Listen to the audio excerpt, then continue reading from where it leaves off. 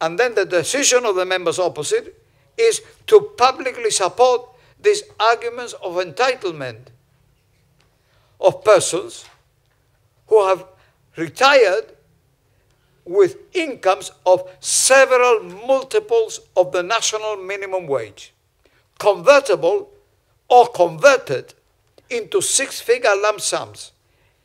It is the most irresponsible, incomprehensible, and dangerous behavior I have witnessed from elected members in my 49 years of membership of this parliament.